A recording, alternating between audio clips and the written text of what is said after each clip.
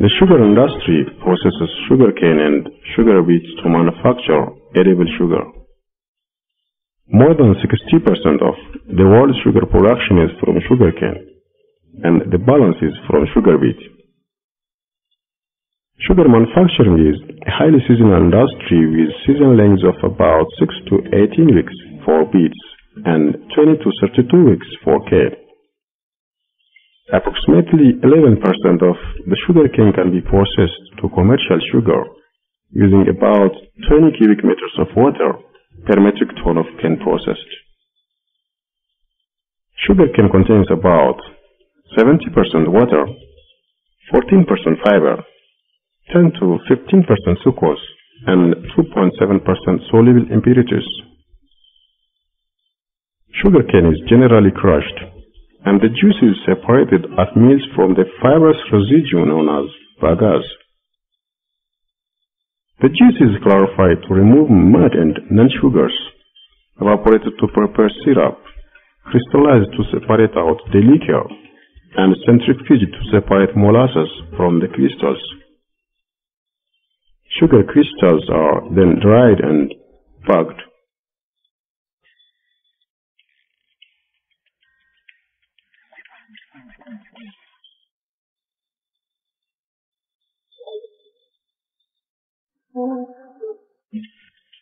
Cane the maximum sucrose content is supplied to the factory by the help of tractor-pulled trailers and lorries.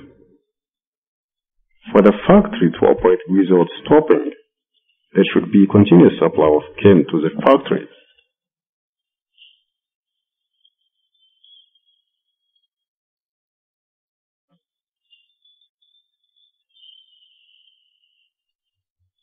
The cane delivered to the factory is weighed at the factory weigh bridge. It's used to measure the net weight of the cane by double weighing the cane trailers, that is, with and without load. Cane weighing has two basic objectives for both cane growers and cane millers. These are the first one is to grow performance of agricultural cane fields like weight of cane hectare, weight of cane per variety, weight of cane per cut, and others.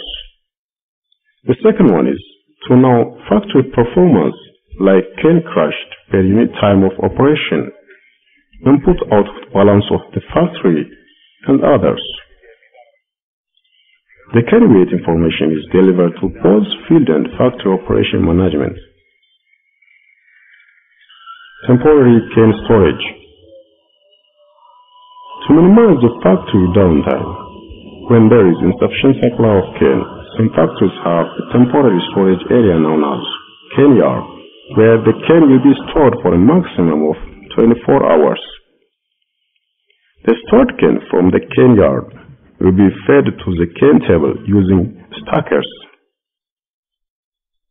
Since the cane deterioration starts immediately after cutting, cane transportation and temporary storage time on the field and cane yard should always be kept to a minimum. Deterioration is accelerated by high temperature, light, loss of moisture and inversion, all of which factors are greater under tropical conditions. Losses in quality caused by delay in grinding are far higher than any mechanical or chemical losses occurring later in the process. For instance, four days delay of cane can cause a weight loss of 11% through evaporation and a delay of 14 days generally causes a 48% loss of sugar in fresh cane. The first delay is in the field where the cane harvesters burn, cuts, piles it for collection and loading onto the cane carts. To minimize the delay time, a close cooperation between harvesting crew and factory management is essential.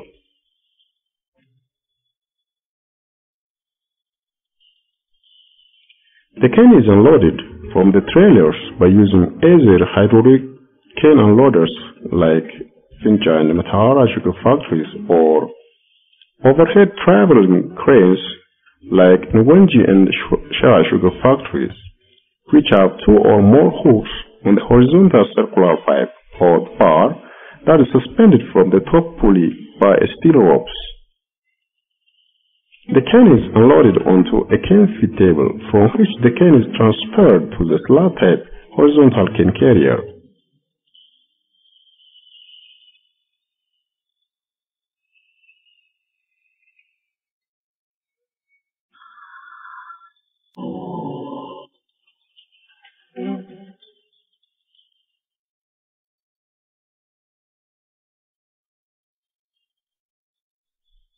The cane coming from the field is unloaded from the trailers on the cane table with the type of chains that have sharp, thin projections to ensure the motion of the cane on the table. The cane moving up on the table by the help of thin projections can also be unloaded onto the cane carrier. It's also here that the cane washing takes place.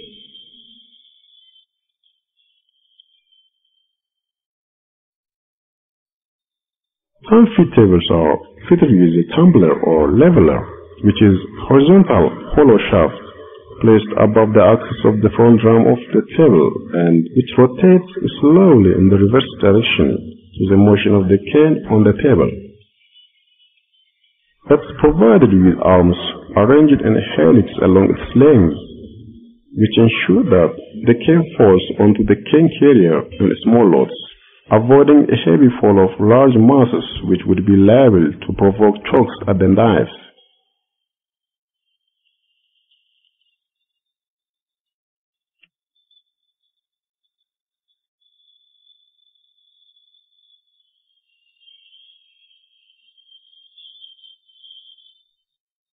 To remove dirt, trash, and especially sand coming with the cane from the field, which is responsible for the rapid wearing of preparation and milling equipment.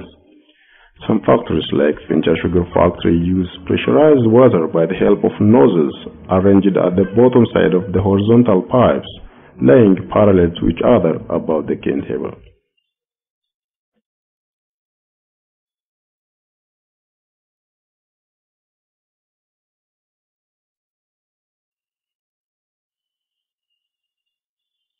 The cane coming up from the cane table will be transferred to an overlapping slot type conveyor called cane carrier.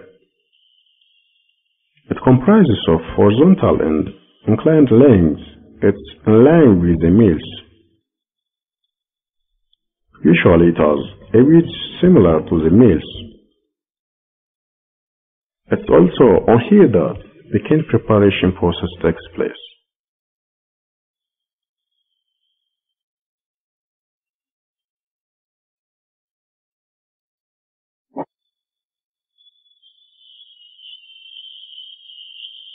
The cane being transferred from the cane table to the overlapping slot type horizontal cane carrier is transferred to the station where cane preparation takes place.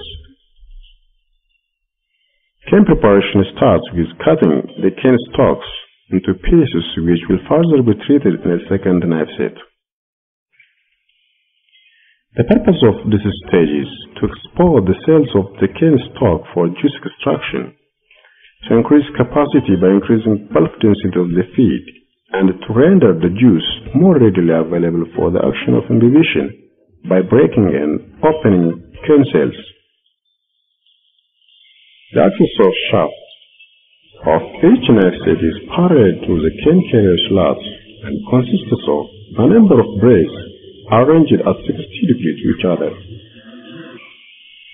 The tips of blades have minimum possible clearance from the cane carrier slot so that the cane passing beneath it will be cut.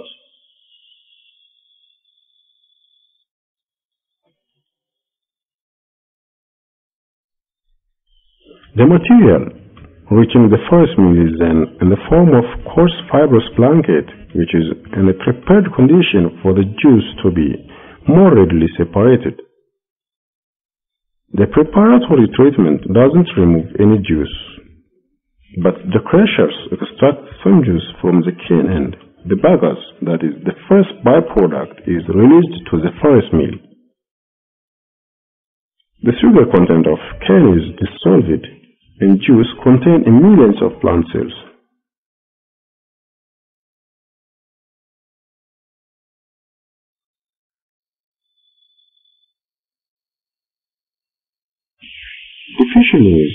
One method of juice extraction and the process is based on osmosis.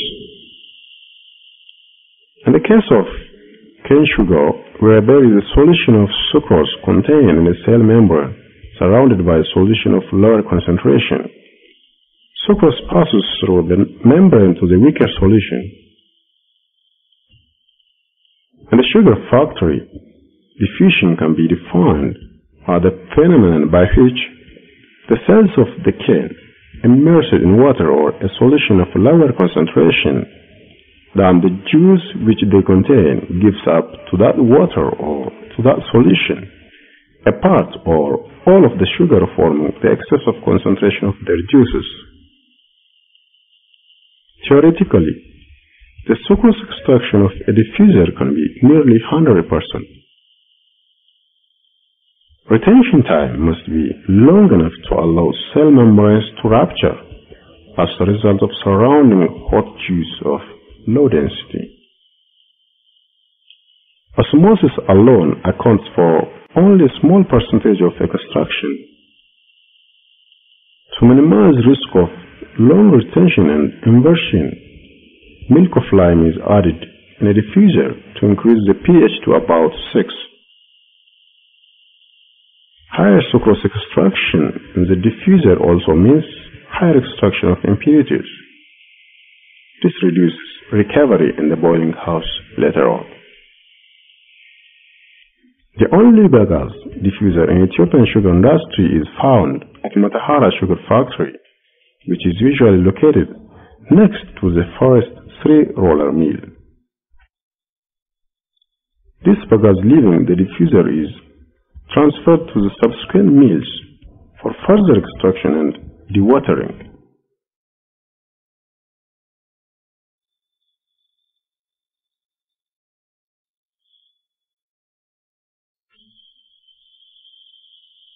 The juice extraction is also done by the three roller mills consisting of four a feed roll on each mill. The three horizontal rollers are arranged in a triangular form the standard milling unit for the industry. Some mills are type of three-roller mill fitted with an underfeed roll and a two-roller pressure feeder with an underfeed roller. The purpose of this pressure feeder is to increase the bulk density of the bagasse so that it will assist the extraction of the process.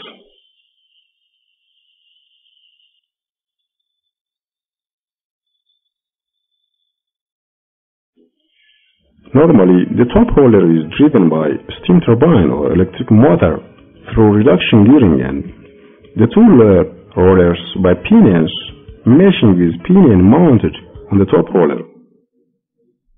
Thus, the top roller drives the other two. Most mills in Ethiopian sugar factories are driven by steam turbines coupled with intermediate gearboxes that are used to reduce speed and multiply torque. However, in some factories, the mills are also driven by the help of electric motors.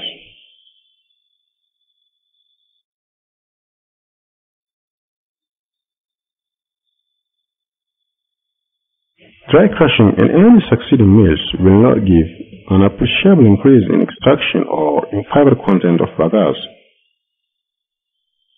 Hence, to achieve any further extraction, it's necessary to dilute the residual juice in the bagasse before further crushing. Such dilution is done in several stages so that the juice remaining in the final bagasse is much more dilute than the original juice in the cane. This procedure is known as imbibition. With dry crushing, the limit of extraction is soon reached after the first mill, the fiber content of bagasse would be about 30%.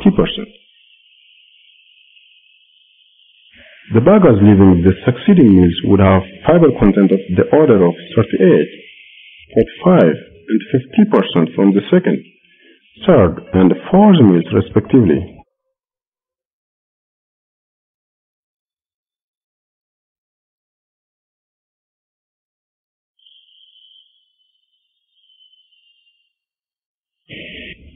The bagasse leaving the preceding mill goes to the next mill by the help of rake type or fork type intermediate bagasse carriers. Sometimes it's also possible to use belt conveyors. They are inclined structures with dragging bars attached on the chain that is driven by electric motors. The inclination has great importance to increase or to improve the extraction efficiency of mills by increasing bulk density of the bagasse.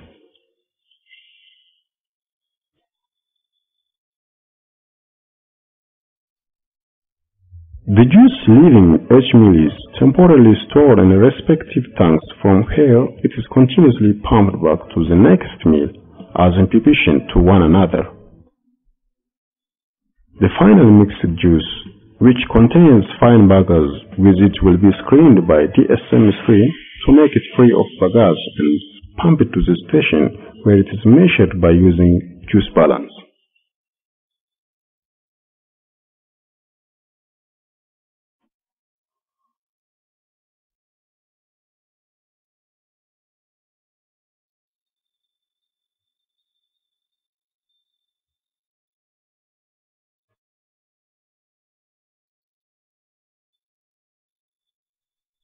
Similarly, the bagasse coming out of the last mill is transported to the boiler plant as a fuel.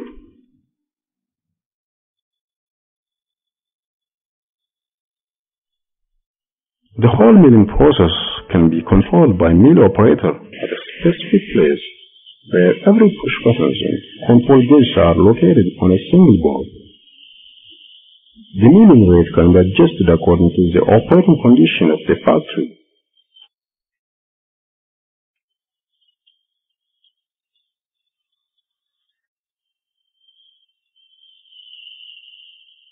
The roller surface is smooth or shiny, the bagasse coming in between the rollers will not be gripped properly and as a result the bagasse will be developed in the chute. This might be finally cause mill choke. To avoid such milling disturbances and improve cane grinding, it is essential to maintain roller surface roughness. Usually top and delivery rollers are arched while